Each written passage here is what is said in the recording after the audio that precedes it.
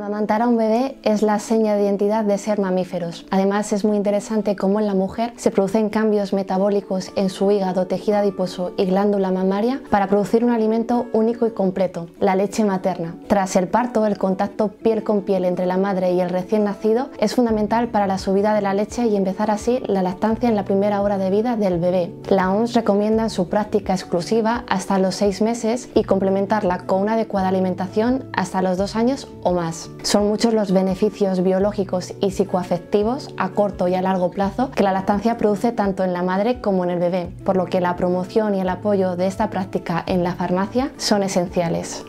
La leche materna es un fluido vivo y cambiante. Su composición y cantidad se modifican según van evolucionando las necesidades del bebé. Las bondades de la leche materna son inmensurables debido al aporte de componentes nutricionales y bioactivos. Todas las madres, a no ser que se encuentren excesivamente desnutridas, son capaces de producir leche en cantidad y calidad adecuadas. Y solo para determinados nutrientes, la alimentación de la madre influye en la composición de la misma. Estos nutrientes son vitaminas hidrosolubles vitaminas A, E y D, hierro, yodo, selenio y el perfil de ácidos grasos con el DHA. Teniendo en cuenta todo esto, a través de nuestro consejo farmacéutico podemos transmitir tres ideas. 1. La leche materna es insustituible y debe ser alimento exclusivo hasta los 6 meses. Si por determinadas circunstancias esto no es posible, se recurrirá al uso de leche de fórmula que contenga DHA y ácido araquidónico preformados y en cantidades iguales. 2. Cuanto más dure la lactancia materna, más beneficios obtendrán la madre y el bebé. Y tres, es importante llevar a cabo una adecuada alimentación y suplementación en esta etapa para asegurar un buen aporte de nutrientes en la leche materna y evitar deficiencias en la madre.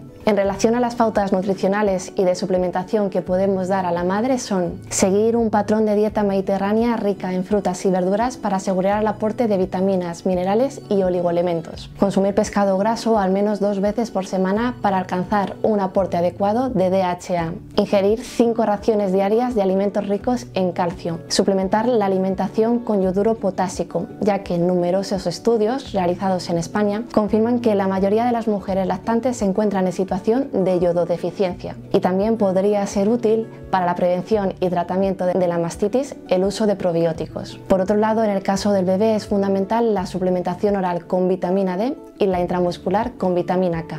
Por último, ni que decir tiene que la acción de amamantar es una conducta que se tiene que aprender y practicar. Y en este proceso es importante que la mujer no se sienta juzgada cuando exprese sus pensamientos, sentimientos y dudas. En la farmacia podemos ofrecer acompañamiento y desmontar además falsas creencias que pueden estar dificultando la efectividad de la lactancia. Por ejemplo, es falso que las madres con pecho pequeño producen poca cantidad de leche, que el calostro se tiene que desechar porque es sucio o que la lactancia materna se debe suspender si el bebé está enfermo o tiene diarrea.